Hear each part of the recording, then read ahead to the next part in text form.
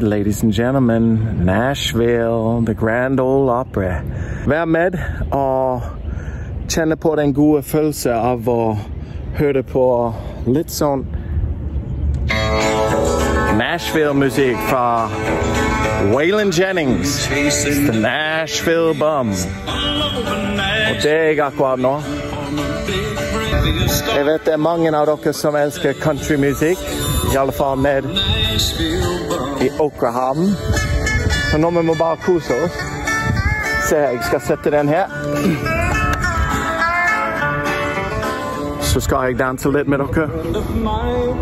How do you dance country music? Forward, side, back, side, promenade. Promenade. Look there, everybody. It's the Grand Ole Opry House. Oh, yeah. Look, my accent changed. What do you think about that? Happens all of a sudden med, med ta imot det som er rundt oss. Så ikke vær redd bare fordi at alle er redde, og ikke snakke med en dialekt fra Tennessee bare fordi at du er i Tennessee. OK, dere. Ville bare dele litt sånn.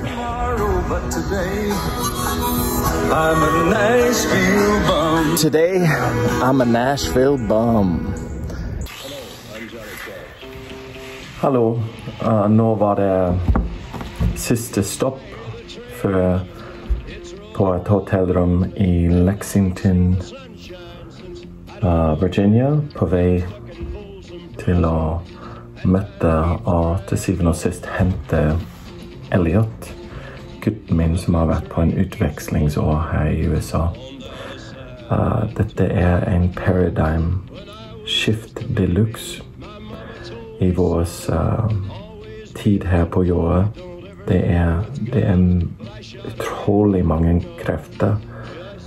Uh, og siden alt har gått fint, så har vi bare den ene sånne hukommelsesregister som vi har alltid hatt.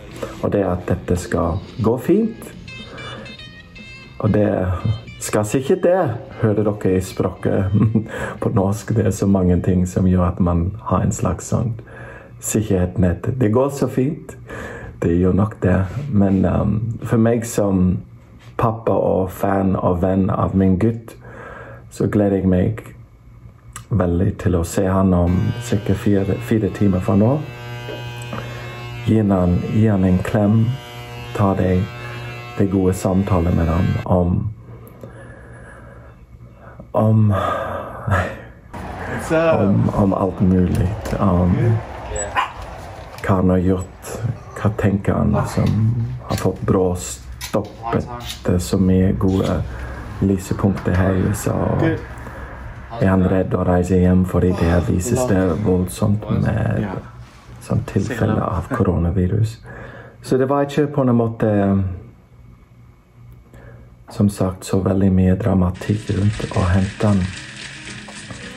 Men å hente oss alle inn igjen uh, og i lag med han, det er noe jeg gleder meg til å finne meg ut av hvor fort vi kan komme oss tilbake til faktisk verdens vakreste land. Og jeg tuller ikke. Jeg um, det dere sier på norsk nå, og jeg syns det er litt rart at jeg sier dette på norsk i mitt eget land, men um, uh,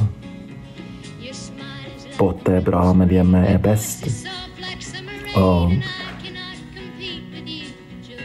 jeg, uh, jeg husker sånne tider når jeg var i Norge i begynnelsen. og når jeg ser tilbake på sånne, sånne videoer og sånn, så hørte jeg et menneske, meg, som var Som trodde at han var veldig i takt med seg sjøl. Men uh, det var jeg ikke. Og mye av dette det dreier seg om ja, det er som en dialekt. Du adopterer en type dialekt, til og med en væremåte, av hvem du er i forhold til dine nærmiljø.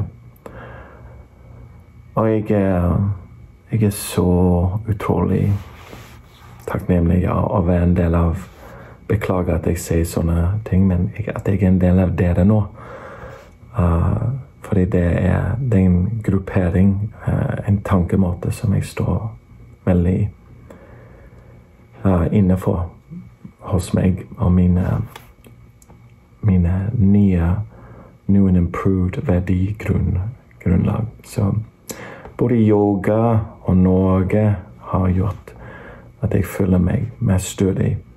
Til og med nå i sånne situasjoner når jeg skal kjøre og hente uh, verdens fineste 17-åring, Elliot. Jeg gleder meg å se deg. Vi snakkes. all those TV shows you watch about being alone in the world. I guess we get to be in the TV for once, huh? Jeg håper dette går forbi, for jeg vil tilbake til min alminnelige, såkalte kjedelige liv. Tingene kan bli litt for spennende, spesielt hvis det skjer litt for kjapt. Y'all take care now, you hear? All right. Speak soon. What's up? Var det kjekt å ha pappaen din her?